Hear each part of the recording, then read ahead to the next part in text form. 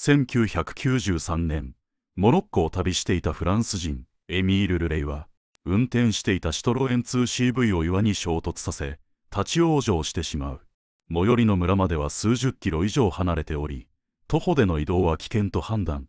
エンジニアである彼は車のシャーシを短くし車軸と2つの車輪を付け替えエンジンとギアボックスを中央に取り付けたバイクを作った。改造に12日かかり完成時水は 500ml 程度しか残っていなかった。